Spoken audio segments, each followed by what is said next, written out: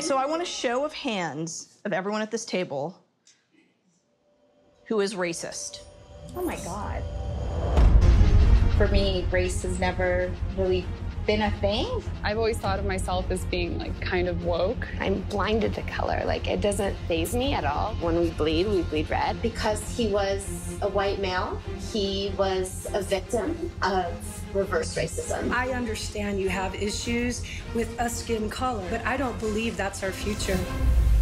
Let me ask you a question. How many of you would trade places with a black person in this society? Raise your hand.